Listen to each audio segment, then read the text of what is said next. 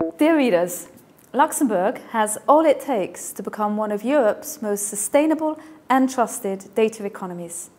Why are we so convinced? Meluxina, a petascale supercomputer that the Luxembourg government has invested in with the European Union, is about to become operational. It is available to companies, startups, SMEs, just as well as large international groups to develop industry applications in many domains, such as personalized medicine, environmental forecasting, or material design.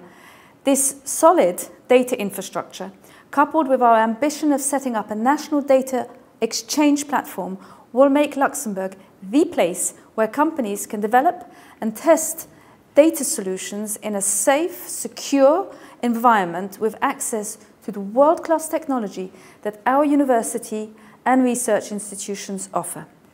So this edition of Crossroads magazine will give you an insight into where we are today and what we plan for the future. If you are a company interested in developing a data-based business in Europe, then our Luxembourg Trade Investment Offices and Luxembourg embassies around the world are there to help you on your path to Luxembourg.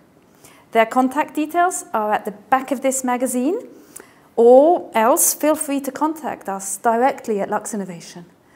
This issue also features another sector where Luxembourg has been a bit of a pioneer, namely in space. The country has become a well-recognized hub for commercial space activities in Europe. So I invite you to read more about the technologies developed by our space companies and our Space Resources Innovation Centre, ESRIC.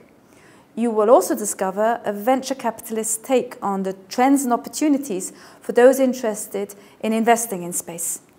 So, do you want to know more about Luxembourg as a base for developing your business in Europe? Please visit our website, or even better, get in touch directly. We would be delighted to welcome you to Luxembourg. Thank you.